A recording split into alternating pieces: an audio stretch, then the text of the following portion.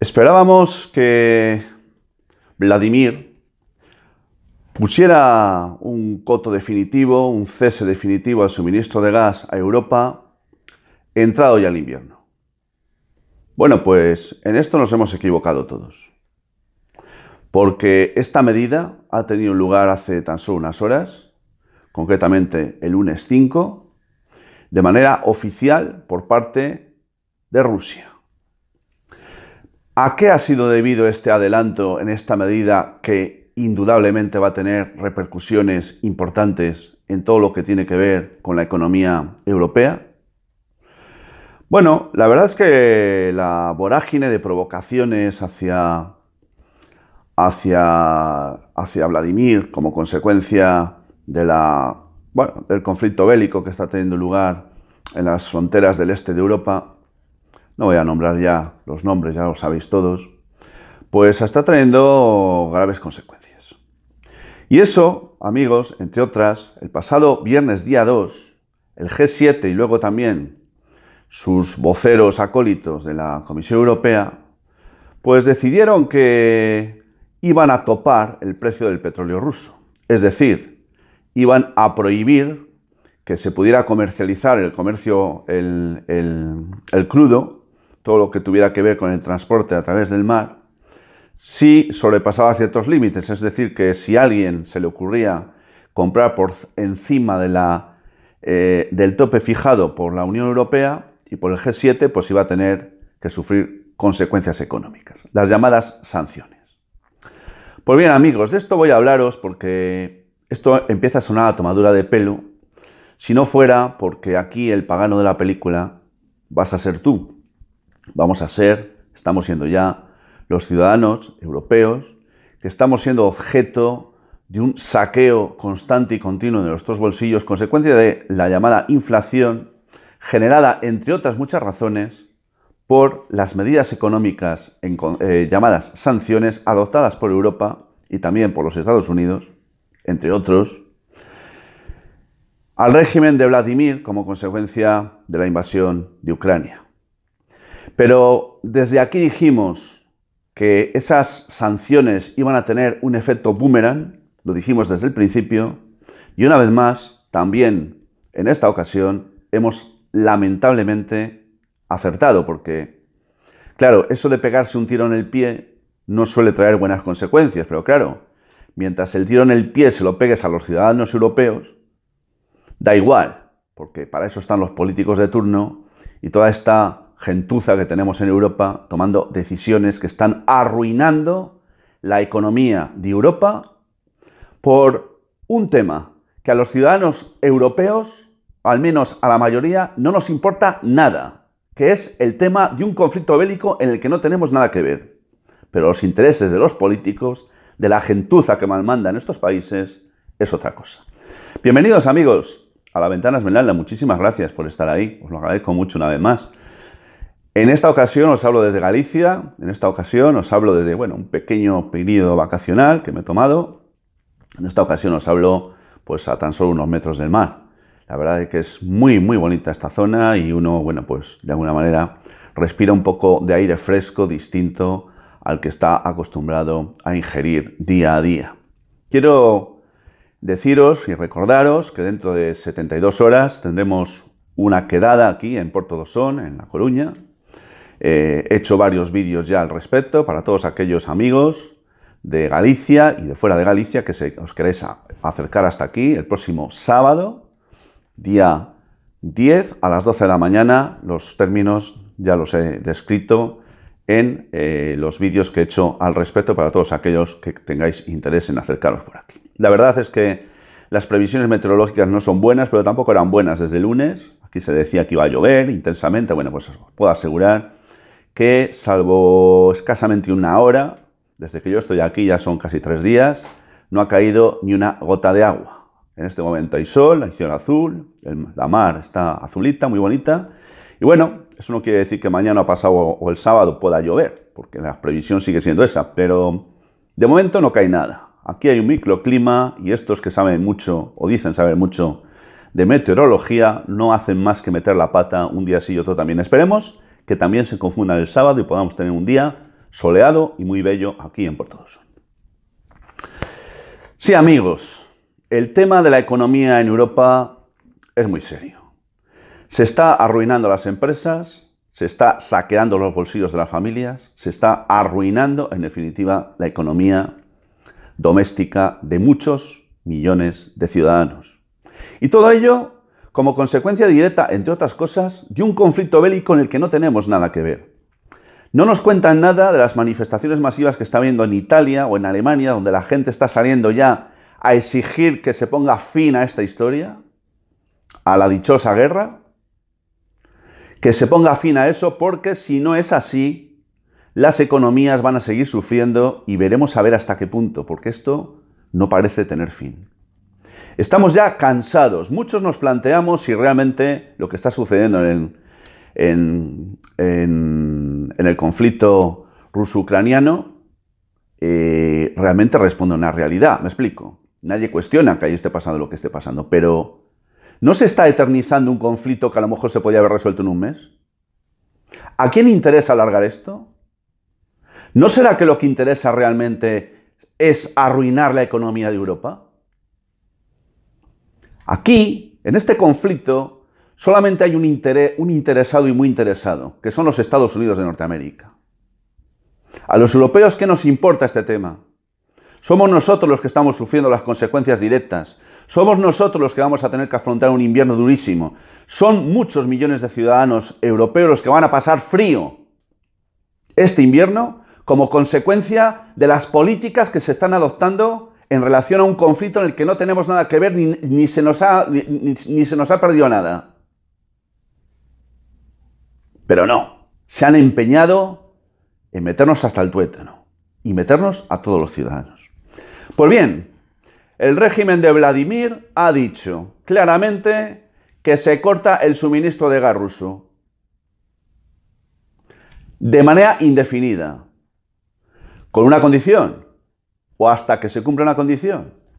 Y la condición que se tiene que cumplir es que se ponga fin a las sanciones económicas que están obviamente perjudicando a Rusia y a sus empresas. Son tan inútiles y tan idiotas estos políticos que tenemos en la Unión Europea que ahora se les ocurre decir que van a topar el precio del petróleo. Y que la, la señora Ursulita dice que además habría que extender eso también al tema del gas. Son tan inútiles y tan tontos que se han olvidado ya que existe un embargo. Y además se han olvidado de que si no compran el petróleo a Rusia, ¿qué es lo que va a pasar?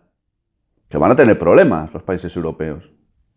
Pero es que además los rusos no tienen problemas porque se los venden a otro, por ejemplo a la India. Y se lo venden a un precio además muy asequible. ¿Sabéis a quién van a comprar todos estos estúpidos que tenemos aquí de políticos en Europa? Le van a comprar, entre otros, a la India el petróleo que es ruso y se lo van a comprar además a un precio muy alto. ¿De qué? ¿Pero de qué van estos? ¿De qué van? ¿De qué van? Se ha cortado el suministro a través del gasoducto Nord Stream 2. Tengo que deciros un dato, entre el 22 y el 28 de agosto de este año, eh, a través de dicho, de dicho gasoducto, eh, ha, fluido, ha fluido gas en una cantidad de 856 millones de metros cúbicos. Es una cantidad muy grande, pero claro, relativamente, porque en agosto del año 2021 esa cantidad era de 2.400 millones y nada que ver con los 3.811, que fue el máximo histórico que fluyó a través de dicho gasoducto hace tan solo muy poquitos años. Por lo tanto, la reducción viene siendo progresiva y constante hasta que ya le han hinchado los chismes a Vladimir and Company y han dicho, bueno, hasta aquí amigos. Es evidente que las sanciones que se están imponiendo a Rusia les están repercutiendo. Si dicen que no les están afectando nada, no estarían diciendo la verdad. Pero hay una cosa, amigos. Ellos pueden soportar mucho más y mejor que nosotros las consecuencias de las sanciones. Y no os cuento ya si, hablamos de los propios ciudadanos rusos, los ciudadanos rusos están acostumbrados a sufrir, lo llevan en los genes, en su propia naturaleza, dispuestos siempre a hacer los sacrificios que haga falta. Unos voluntariamente, otros impositivamente, pero están acostumbrados. Aquí en Europa no estamos acostumbrados a sufrir sacrificios de nada. Y ahora los vamos a tener que afrontar todos juntos. Mientras nuestros políticos se empeñan en mantener un conflicto que no interesa a nadie más que a los Estados Unidos y a cuatro interesados. Políticos y empresarios. Mientras la economía de todos se arruina. Mientras Europa se va al garete y mientras esto no parece tener fin. Sí, se está utilizando como arma el gas, claro. Claro. ¿No haríamos lo mismo nosotros si la, la película fuera al revés? La amenaza se ha cumplido, amigos. Se ha cumplido antes de tiempo. Y a lo mejor, por cumplirse antes de tiempo, lo que va a suceder es que la recesión va a llegar antes de lo previsto. Porque la recesión en Europa, la recesión económica, es algo que va a llegar sí o sí de forma y manera irreversible. Y en el momento que la recesión económica invada la Unión Europea y Europa en general, esto va a traer consecuencias durísimas. Si nos circunscribimos al, circo que es la Unión Europea, si nos circunscribimos al chiringuito que es España, gracias a los dirigentes lamentables que tenemos ahora, los que hemos tenido, los que vendrán después, resultará ser una cosa muy curiosa. Muy curiosa. Estamos, se nos está permitiendo que no tengamos en cuenta, para que no cumplamos las reglas fiscales aprobadas o determinadas en la Unión Europea. Pero eso va a cambiar, eso de que ya no se cumpla el 3% de déficit, eso de que ya no se pueda superar la inflación en el 2% se va a acabar. Porque Alemania, que lo va a pasar muy mal, va a exigir ahora que ya se cumpla, todo el mundo cumpla las reglas. Y eso va a suceder, ya lo dije hace varios, varios vídeos, en varios vídeos además, que eso iba a suceder cuando Europa se vea inmersa en un, en un estado de recesión económica. Una recesión económica que vamos a tener sí o sí y ahora antes de lo previsto gracias a la adopción de la medida que ha tomado Putin y gracias a las provocaciones constantes de las que está siendo objeto Rusia desde hace mucho tiempo, mucho antes de, de que estallara el conflicto bélico, por parte de algunos que están muy empeñados en que ese conflicto bélico se mantenga durante mucho tiempo. No sé con qué fin, pero mientras tanto los ciudadanos empiezan a reaccionar. En España no, en España todavía está la playa, el gran hermano, y ahora empieza el fútbol. No, pero hay países como Alemania, países como Italia, países como el Reino Unido, donde ya se están adoptando medidas muy serias de no pagar las facturas de la luz, de exigir a grito pelao que se ponga fin al conflicto bélico, a preguntarse en voz alta por qué coño estamos metidos inmersos en ese conflicto que solamente nos está trayendo consecuencias negativas a los ciudadanos europeos. Muchas preguntas, que está bien hacerse las preguntas, pero ya estaba empezando a haber movimientos. Mi pregunta es cuándo esos movimientos van a tener lugar en España. Ojalá pronto. Yo creo que ya hay algunos, algunos incipientes, y van a contar con todo mi apoyo. Concluyo, amigos. Solamente deciros que el portavoz del Kremlin ha dicho pocas horas después de que se adoptase la medida del corte definitivo e indefinido de suministro de gas por parte de Rusia a la Unión Europea, que el invierno iba a ser muy duro. También lo ha dicho alguna ministrilla, ¿eh? Una que, que le gusta mucho comer chicles, o al menos es lo que parece por la manera que tiene de hablar del gobierno de España, que el invierno iba a ser muy duro. Pero es que ha dicho más, el portavoz del Crane ha dicho más, que iba a haber numerosos derrames cerebrales por parte de muchos ciudadanos europeos cuando tuvieran que ver el importe del recibo de la luz.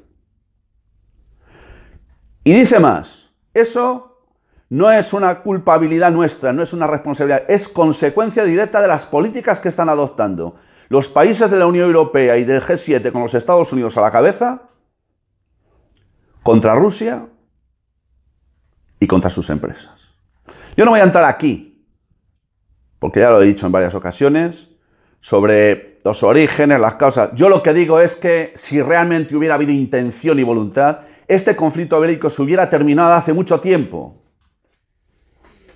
Esto se acabará solo cuando les interese por razones económicas a algunos, y eso será cuando hayan arruinado la economía de Europa. No tiene ningún sentido que aquel conflicto prosiga casi ocho meses después. Yo particularmente estoy convencido de que si Vladimir hubiera querido, esto se hubiera terminado hace mucho tiempo. Y que si la diplomacia internacional hubiera querido, esto se habría terminado hace mucho tiempo. Pero es que parece que nadie está interesado en que esto termine, termine pronto. Más bien parece que todos están interesados en provocar la ruina de la economía europea y la miseria de numerosas empresas y numerosas familias de este continente y también de en los mares, aunque allí menos. En fin, amigos, quiero terminar enviándoos un nuevo saludo desde Puerto Dosón, desde Galicia, un día soleado, muy bonito. Dentro de unos minutos, concretamente cinco minutos, van a comenzar las fiestas además de, este pueblo y yo voy a tratar de gozar de ellas porque realmente merece la pena hacerlo porque en los escenarios en los que estamos viviendo hay que vivir el momento y sobre todo aprovechar de la manera más intensa posible todo este tipo de festividades y todo este tipo de cosas porque nos vamos a, tener que afrontar un invierno muy duro, unos escenarios muy duros de los que no nos vamos a salvar nadie más que los políticos de mierda que siguen maldirigiendo nuestros queridos países. Gracias salud y libertad para todos.